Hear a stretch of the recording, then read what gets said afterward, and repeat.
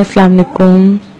ইসলাম ধর্মটি সম্পর্কে অনেকেই ভাবেন যে এই ধর্মের যদি বিশেষ কোনো ক্ষমতা নাই থেকে থাকে, তাহলে কি করে প্রায় দুইশো কোটি মানুষ এই ধর্মে বিশ্বাসী?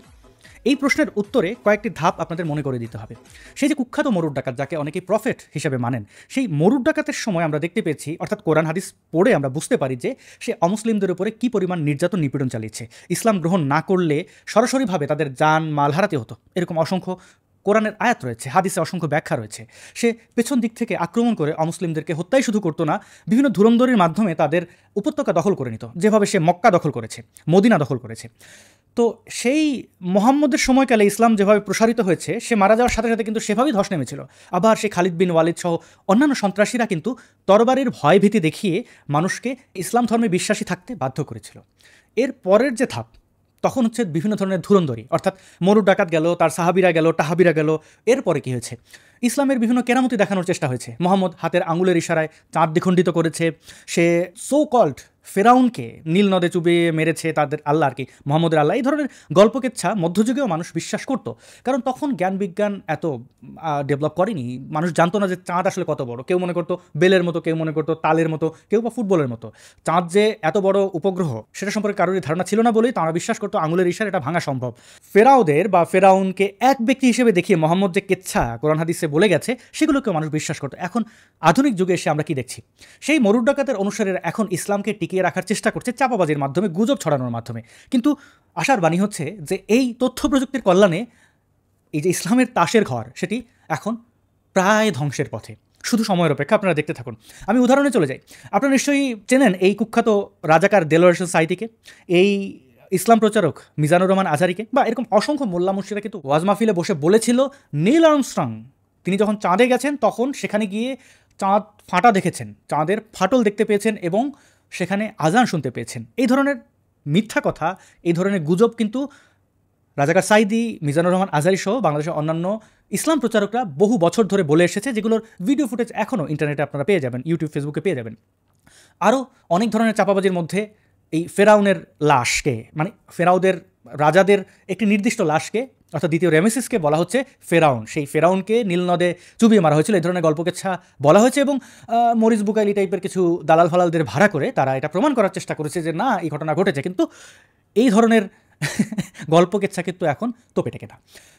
এরকম উদাহরণ অসংখ্য দেওয়া যাবে। আমরা চলুন এখন এই সোশ্যাল মিডিয়া ইসলাম প্রচারকারীদের কিছু নমুনা দেখে আসি। আপনারা এই যে ভিডিওটি দেখতে পাচ্ছেন, এই ভিডিওতে দাবি করা হচ্ছে যে জাপানের কিছু ফটোগ্রাফাররা একত্রিত হয়ে বিশেষ একটা কিছুর ভিডিও ধারণ করছেন। চলুন আমরা সেই ভিডিওটি দেখি।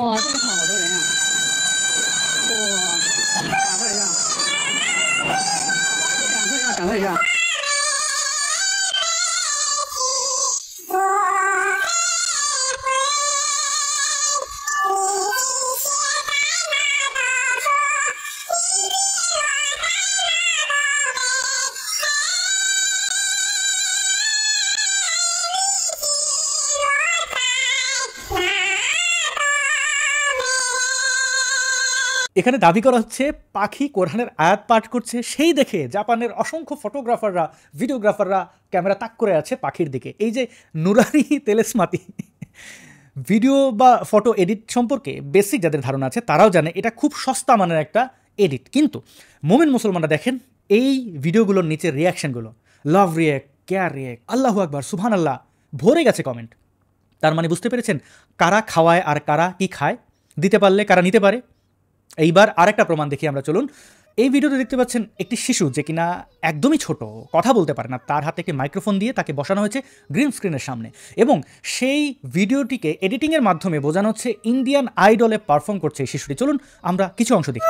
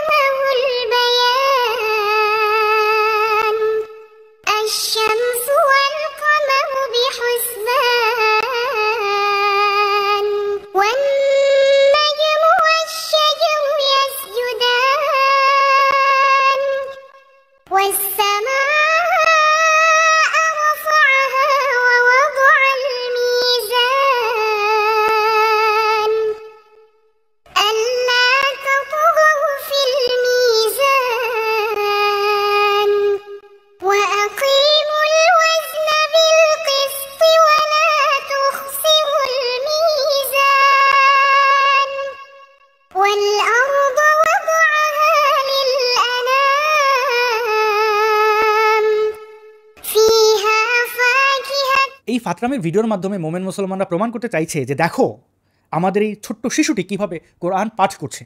বস্তুত এই কণ্ঠটি কোনো শিশুর নয়, বরং বড় কোনো মানুষের কণ্ঠকে ফাস্ট ফরওয়ার্ড করে তারা শিশুর কণ্ঠ বানিয়ে ইন্ডিয়ান আইডলের ব্যাকগ্রাউন্ড ব্যবহার করে এই ধরনের জোচ্চুরি করেছে এবং লক্ষ লক্ষ মানুষ এই ধরনের ফাতরামিকে বিশ্বাস করছে। তারা আলহামদুলিল্লাহ সুবহান আল্লাহ বলে বন্যা বয়ে দিচ্ছে comment box love react care রিয়াক্টের অভাব নাই। তার মানে আপনারা বুঝতে পেরেছেন যে এই ধরনের মিথ্যাচার, এই ধরনের ফাতরামি মোমেন মুসলমানরা অকপটে বিশ্বাস করে। এই তো কয়েক বছর আগে আমাদের বাংলাদেশে কুখ্যাত রাজাকার দেলোয়ারজন সাইদিকে চাঁদে দেখা গেছে। এই গুজবে বিশ্বাস করে হিন্দু ধর্মাবলম্বীদের উপরে আক্রমণ চালিয়েছিল জামাত শিবিরের গুন্ডা এবং ধর্মান্ধ মুসলমান সম্প্রদায়েরা। এরা এই ধরনের গুজবে বিশ্বাস করে এবং এই ধরনের মিথ্যাচারের মাধ্যমেই কিন্তু ইসলামের প্রচার এবং প্রসার ঘটিয়ে এসেছে, কিন্তু তাদের সেই তাসের ঘর এখন ভেঙে যাওয়ার উপক্রম। খুব বেশি দূরে নয়। ধন্যবাদ ভিডিওটি শেষ পর্যন্ত দেখার জন্য। এই ধরনের ফাতরামি সম্পর্কে সচেতন থাকবেন। যারাই এই ধরনের ফাতরামি দেখতে পাবেন, আমাকে ইমেল করবেন info dot Asad Nur at Gmail dot com আবার দেখা খুব শীঘ্রই। আজকের মতো এখানে বিদায়।